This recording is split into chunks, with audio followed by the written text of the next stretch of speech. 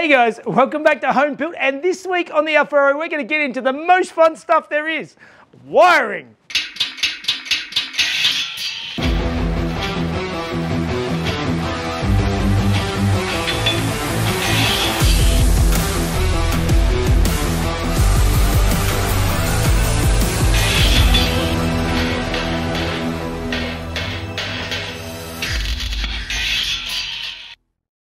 All right, guys, welcome back. And those of you who were watching last week will have seen that I finished up all the framework for my center console, uh, putting in all of the switches and uh, cup holders and all the rest of the bits and pieces. If you missed it, I'll put a link up above so you can catch up. And um, like always, please think about subscribing and also uh, clicking that bell. It actually makes a difference to uh, um, getting these uh, videos out there. So, um, couple of things from last week. Um, people keep commenting there's only one cup holder and uh, Mrs. Jeff doesn't get a cup holder. Well, uh, there were comments saying that I could potentially sort of offset them uh, in the uh, the centre, but there just there just isn't enough room in that part there.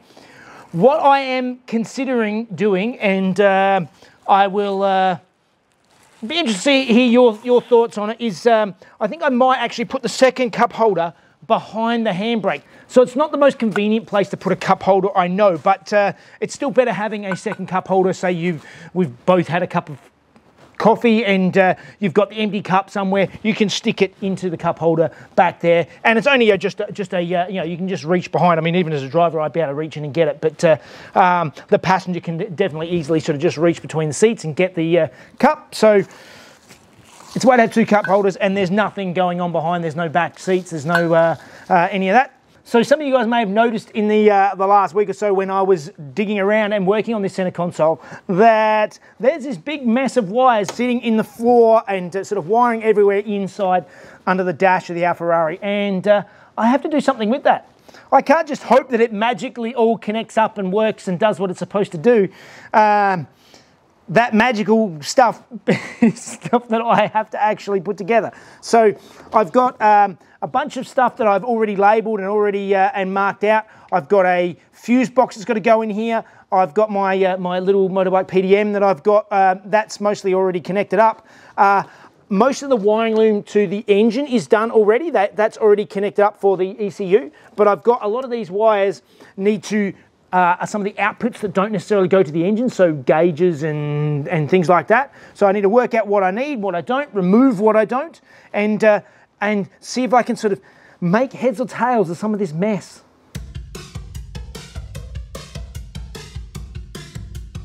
So all of this mess of wires all through here is all organized chaos in theory.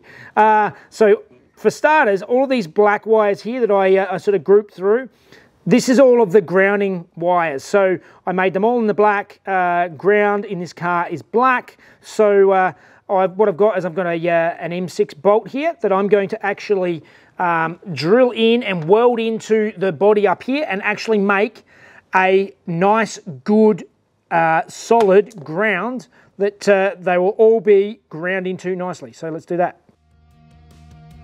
So I drill a hole just smaller than the tip of the flange head bolt so it just sits through nicely and then I can just weld around the edge a nice easy earth stud.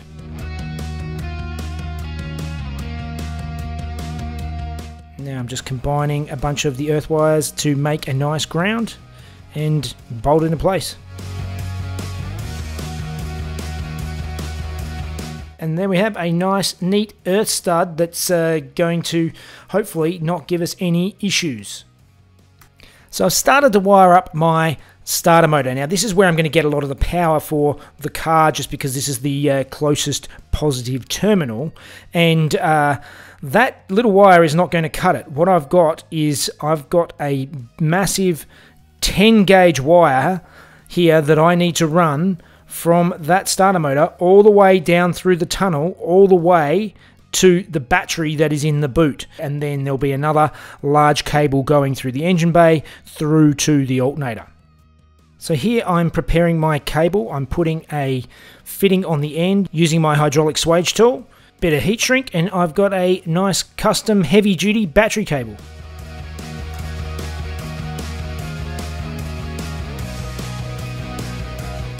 So now I'm fitting a fuse and relay box so I can sort out all of the powers to all of the systems in the car and uh, then I add a couple of labels so I know what does what. All right, well that was a lot of time going through all of this stuff, which is not very interesting, so there's very little filmed. But uh, I have my fuse box, relay box here, um, just going through and working out what needs what power where. Uh, I sort of did, did it obviously when I built the loom, but it's just going through and doing things again. It takes me a while to get my head into uh, sort of wiring zone and realizing what I need and where. But uh, I have my my uh, sort of fuse box wired up here. This is the back of it, uh, which has a nice cover. Uh, I've also got a 40 amp fuse on the side, which is the main power coming into the fuse box, and uh, and I've labelled my fuses on the uh, on the lid that will go over the top. So I have my layout there. That's ready to go. I've also had to go through. This is the control unit for the Yaris electric power steering. So you need to run um, the the the brain for the power steering, but it has a limp mode, which is basically what I'm going to be using, and it just gives you a set uh, sort of mild assistance. So uh, that's what I've got here. Um, I had to, I didn't have plugs, so I actually found an old car stereo plug because uh, this I got this unit by itself from a wrecker. Uh, still got the writing on it, and uh, yeah, I found a car stereo plug with pins in sort of similar-ish sort of locations and trimmed it up and made it fit. And now I've actually got some nice uh, uh, plugs there to connect it in.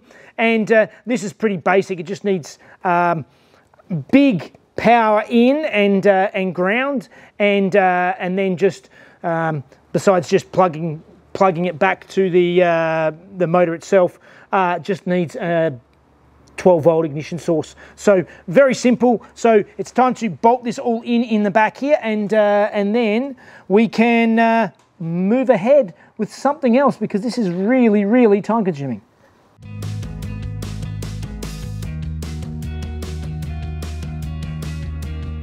So I know wiring makes for a super boring video, but uh, it takes my head a little while to sort of get back into the scheme of things and working out sort of interwiring modes and working out what's going on, what I need to do, where it needs to go. And now I'm here. I was actually planning on doing some more visually interesting stuff this video, but I'm thinking that it's better to just stick to the job at hand and get it done.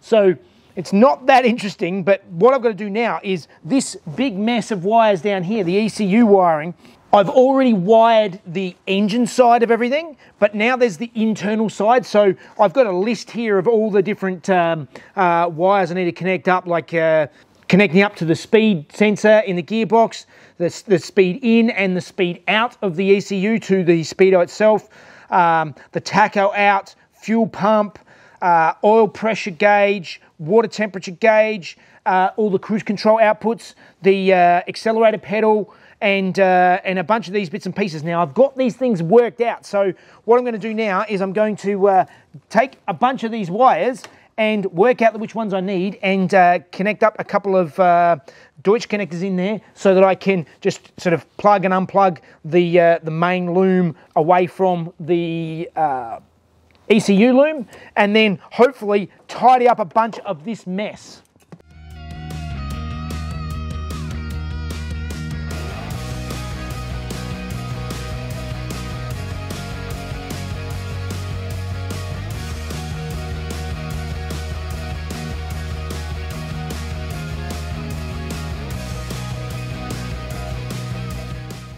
Okay, so I've gone through and, uh, and I've now wired a couple of Deutsch plugs into the wires I need for coming from the ECU. I got a kit from Raceworks, which has got a whole bunch of different sizes in it.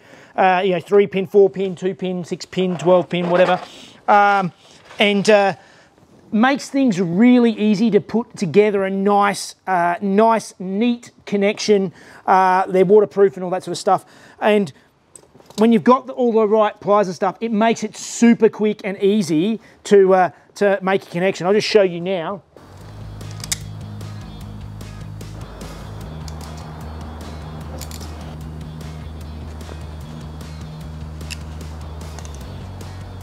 it's literally that quick and simple and uh, even demonstrating it for the camera and then there's just like these sort of little lock off pieces that go in but you can also unpin them if you need to. Uh, it just makes life really simple. It makes a nice, good, solid connection. No stuffing around with uh, different bits and pieces. So I'm, I'm a big fan of these things. Um, so I'm going to go through now and finish up wiring up the other end of those uh, plugs and uh, yeah, then hopefully we can then go through and deep in the ones we don't need out of the ECU.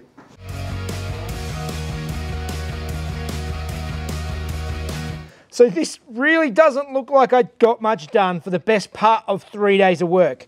But um, I actually have so much of this wiring sorted out. And no, it's not an interesting episode, but that's just the way it goes. Um, I have my bulkheads all connected up down in here. I have my link ECU, which is up under here, all plugged in and connected up. You can sort of see it just in the back there. Um, I have my fuse box set up uh, connected up. I have an earthing spot. Um, yeah, I've got a lot of the foundation worked out of how things are going to work. I also spend a lot of time, a crazy amount of time, trying to sort out the air conditioning um, hoses. I've managed to find all the bits and pieces. It says a lot for getting a kit that's all made up already. By buying separate components, they all have different um, fittings on them. There's different types of fittings. There's there's there's not like a universal sort of air conditioning fitting set set up. There's just so many different ones. Trying to find everything that will be able to fit together with the right size hoses, and I think I have it sorted and have all that stuff ordered as well. So that is coming. Um, the wiring, I am feeling so much better about this. It's something I've been putting off because I knew it was going to be a headache, and I think I'm most of the way there, which is just absolutely amazing. There's still stuff, I still got to connect up the dash um, and, the, uh, and, and do something about the gauges, which I've already got a plan for. Um, I've got like um, the, the center console wiring to do, the buttons and, and things like that. But the, uh, the, the core, the heart of the wiring is done. The, uh, the ECU is all wired up and loom is set up. Uh, yeah, we're a long way forward, but uh, I'm definitely out of time, so I think that means it's time for fun facts with Mrs. Jeff.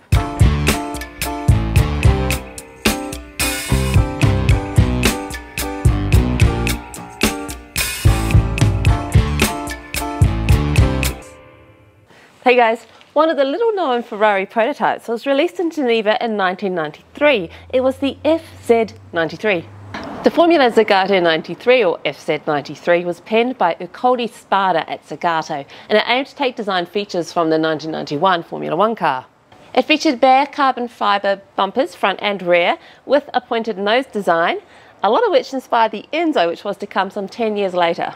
When it was first released, it featured an awkward two-tone paint job with large prancing horses on either side of the car which distracted from the lines of the car. It was later repainted to be all red, as it remains today.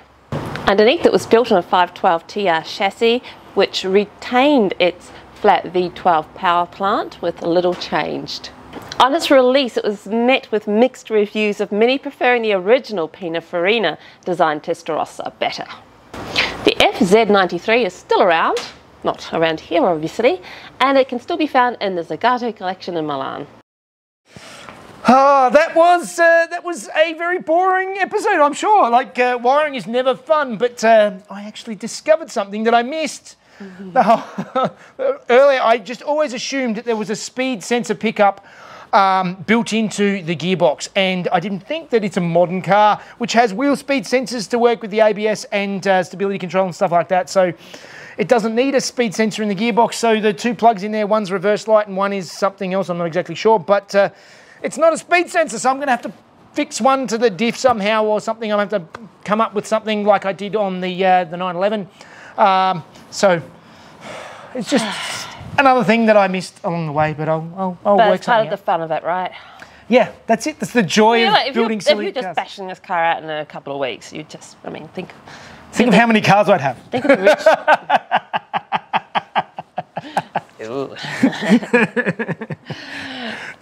Right, time to go. Let Jeff know what you think. He loves your comments. As you know, if you want to help him out, Patreon. And uh, like, subscribe, and we will see you soon. See you next time. Oh, we must sound guys. very squeaky then. Sorry, still getting over that. Right. It was released in Geneva in 1993. It was the FZ 93. oh. And it's underneath it was built on a 512 TR chassis, which retrained Re- retrained. 512 TR chassis, which retained retained its flat V12 plow Plower plant. God. on a 512 TR chassis, which underneath it was built on a 512 TR chassis, which retrained. Yes.